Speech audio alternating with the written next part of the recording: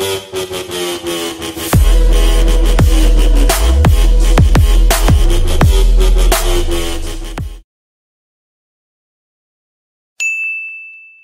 everyone, this is Hunter Collector with another action figure review, and here we are going to build Armadillo on the build-a figure for the Spider-Man No Way Home wave. So first, let's start off with the torso. So here is Armadillo's torso. We also got this back piece here for the shoulders. This is from uh, Shriek, so let's just put these on real quick. Actually, we'll hold off so we can put on the arms. Then we'll pull the right arm from um, J. Jonah Jameson. Just kind of pop that in there like that. We'll grab the left arm from Morlun, pop that in there like that too. Then we'll grab the shoulder pads here.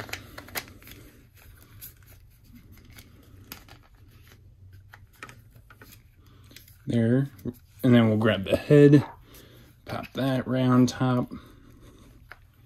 Little off camera work here. There we go. And then we'll grab the right leg from Miles. Pop that in there, and then we'll grab the other leg from the black and gold suit.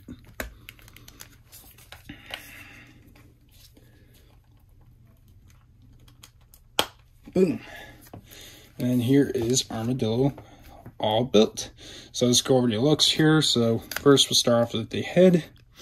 So the head looks pretty good. He has a grin to look. You get to see all of his teeth.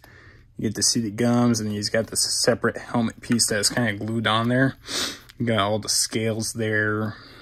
You get completely whited out eyes. Kind of reminds me of Hulk, the face sculpt a little bit. But then you also get the this helmet piece here.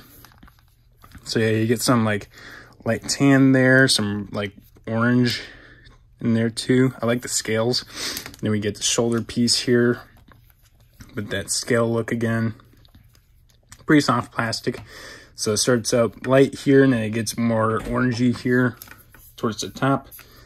And for the actual torso, it gets lighter here in the middle and then it gets more like, I don't know, brownish. Uh, towards the like creases of the muscles, you get to see the uh, chest, abs. You can see some scaling there. That's pretty cool. And then here's the arms with those scales. Looks awesome some parts without the scales in the inner part of the arm. Get some very sharp claws, except he's got three fingers and one thumb. Gray nails. Looks pretty cool. And then here are the legs. You get some orange more on the thighs. You get some scale looks again. Some parts that aren't scaled again in the inner part and the growing area. And then here's the feet.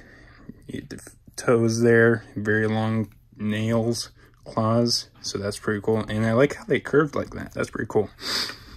And then here's the back. Now let's go over the articulation. So he's a double ball jointed head, so you can look down that much, look up that much, left and right. A little head pivoting in there. Shoulders can move out that far, but then the this will pop off. 360 rotation there, kind of clicky bicep swivel, single jointed elbows. Wrists can hinge down that far, up that far, 360 rotation. This piece kind of gets in the way a little bit though. You also got ball joint, a diaphragm ball joint, so you can move forward that much, backwards that much, side side motion, some twisting. Legs can kick out that far, forward just that far, backwards a little, none actually, thigh cut, single jointed knees there. And ankles can hinge down that far, up that far. Nice ankle pivot. And here is Armadillo next to the integrated Spider-Man suit. So yeah, that's Armadillo for you. I really like the detailing on this figure. The articulation, could, it's a little iffy. It's not quite as movable, but I really like the detailing on this figure.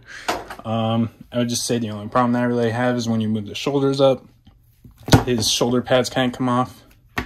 Uh, and yeah, that's really, that's my only problems really. And then the articulation, like I said, is kind of tight. So there's not a whole lot of movement for him, but yeah, I think he's pretty cool. I guess I would say if you're into Spider-Man, definitely get him. I'm doing a villain shelf, so that's why I'm doing it. But I guess if you're not huge on Spider-Man, I probably wouldn't waste my time on getting them unless you're really into detailing, which I am because I'm an artist. So also so yeah um I guess if you're into Spider-Man or like the detailing on figures, go ahead and get this guy. But otherwise, I wouldn't say it's a big deal to get him. Um, but yeah, he's pretty cool. I, I think he's cool. Um, so yeah, that's all I got. So if you guys want to check out my link tree, it has my TikTok, Twitch, Instagram, and Twitter. If you guys want to help support me on those. Um, but besides that, thanks for watching.